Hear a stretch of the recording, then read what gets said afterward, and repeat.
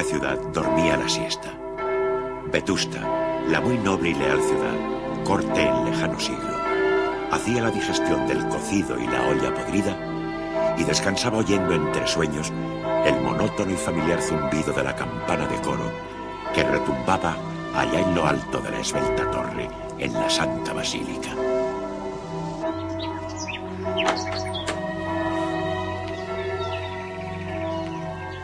Anita. Anita. Hija mía, en cuanto coges un libro se te va el santo al cielo. Visita ya está aquí, mira.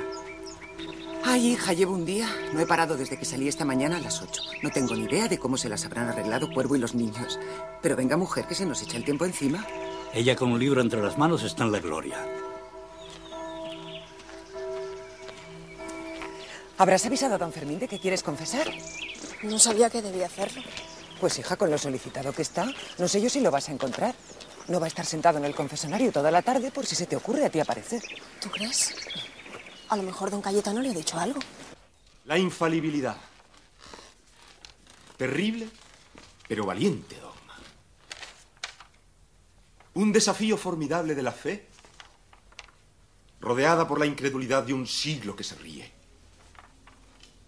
Es como estar en el circo, entre fieras, y llamarlas, azuzarlas, pincharlas. Mejor. Así debe ser. Una aventura teológica parecida a las de Alejandro Magno en la guerra y las de Colón en el mar. Muy bien, hijo. Ese es el fermo que a mí me gusta. Madre, no he terminado. Falta un párrafo. Termina, hijo, termina. El suceso tan esperado por el mundo católico.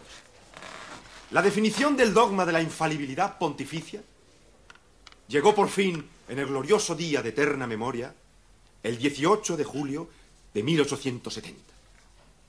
Y confírmase así, de solemne modo, la doctrina del cuarto concilio de Constantinopla.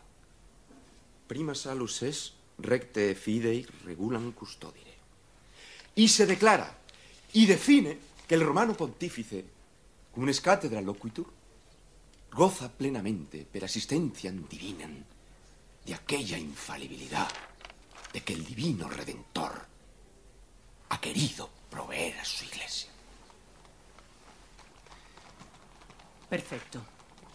Ahora tengo que subir a casa, hijo. No vuelvas tarde a cenar, que ya sabes que a mí se me pasa la hora. Descuide, madre, descuide. Teresina, ¿quieres subir a prepararme la sotana nueva? Voy a salir. Sí, señorito. Ahora mismo.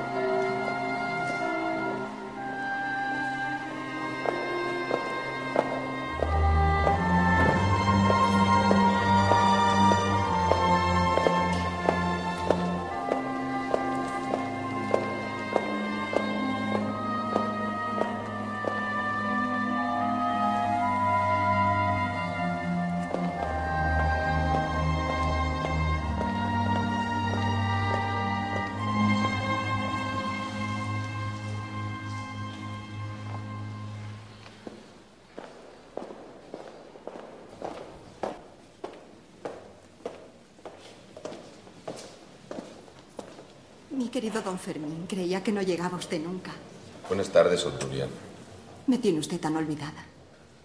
¿Cuándo va a tener la amabilidad de escucharme en confesión? No se haga usted de rogar. No me hago de rogar, señora. Un día de estos le mandaré recado. De todos modos, le sugiero que si tiene usted prisa puede confesar con don Custodio. Él la recibirá encantado. Si se da prisa, quizás lo alcance. Acabo de verle salir de su confesonario.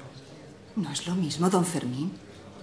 El sacramento surte los mismos efectos, sea quien sea el confesor.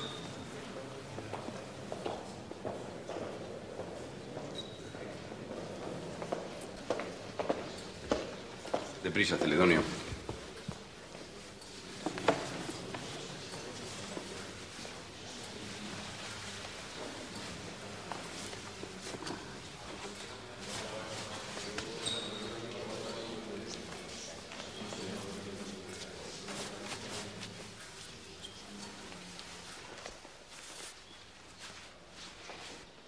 Parece que hemos tenido faldas por aquí, señor de Paz.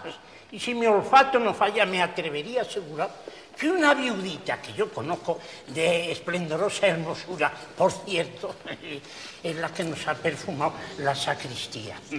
Y me temo que esas faldas iban muy apretadas a sus esculturales formas. Odulia y yo somos grandes amigos. Ese picurea no cree en el sexto.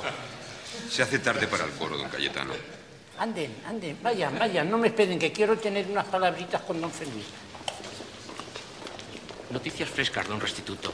Ahora le cuento.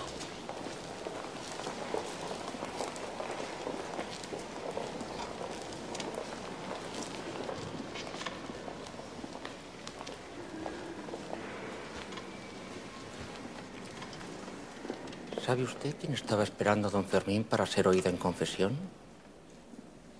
La regenta en persona. Ya. Ya he visto que el arcipreste anda con secretitos, con su magistral de sus entretelas. Y mientras tanto, los demás aquí de plantón. Este don Cayetano chochea. Está cansado de cargar con los pecados de las señoras más conocidas de Vetusta. Y se las va dejando en herencia a su discípulo predilecto. Y ahora le ha tocado el turno a la regenta. Puede ser. O a lo mejor la iniciativa ha sido de la regenta, que ante la renuncia de don Cayetano ha elegido personalmente al magistral.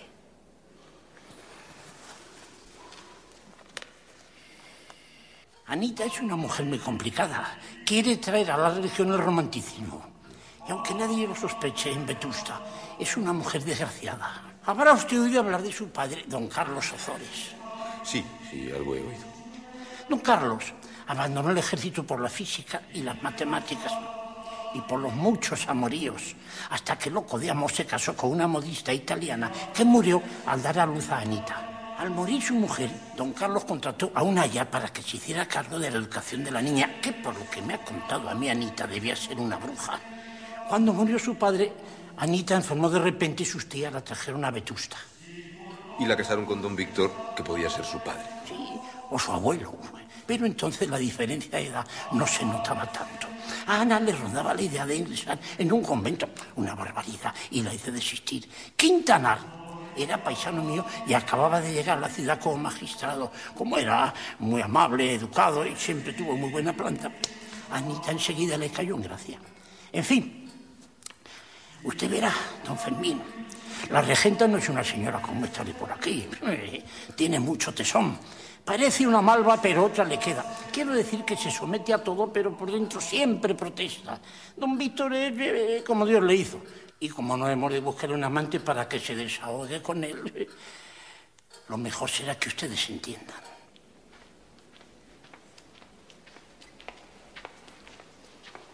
¿Esperan ustedes al señor magistral? Sí, hace ya un buen rato. Queremos confesar. Hoy no puede ser. El señor magistral no se sienta esta tarde en el confesonario. ¿No te lo había dicho yo? Tienes razón, ha sido una imprudencia. Anda, vamos a dar un paseo al espolón.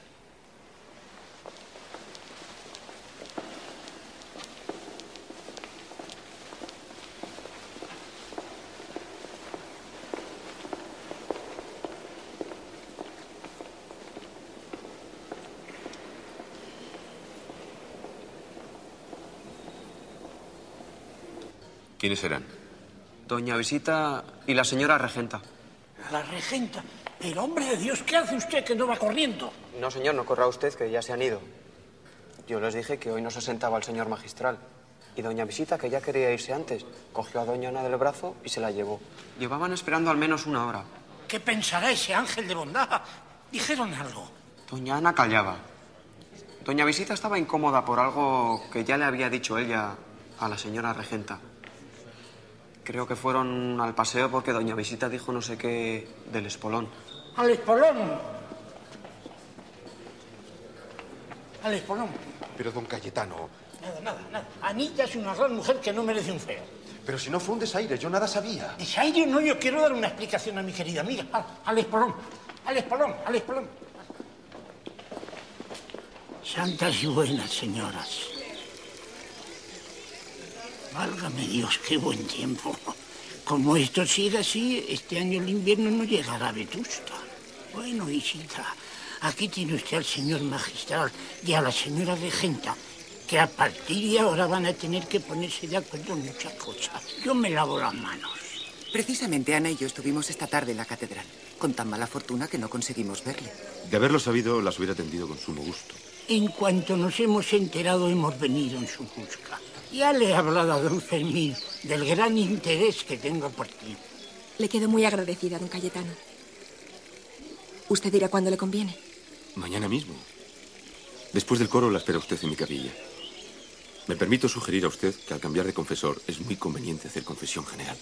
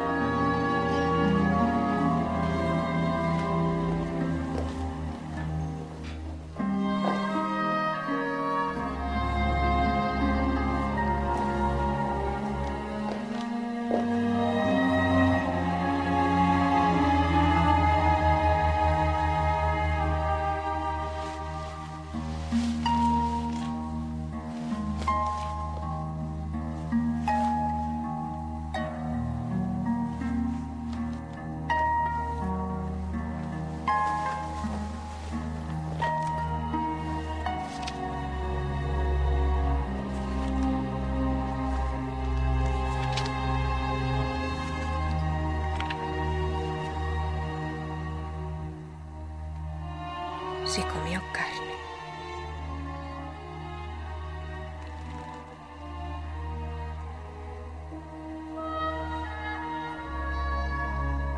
Los parajes por donde anduvo.